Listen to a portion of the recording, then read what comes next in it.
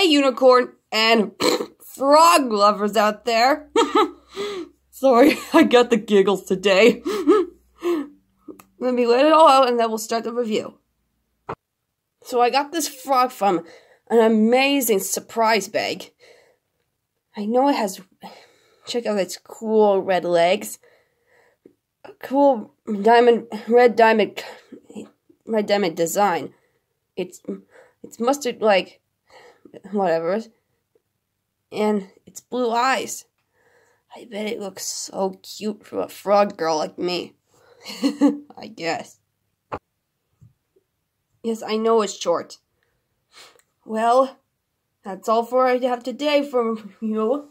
Love you, unicorn, and frog lovers.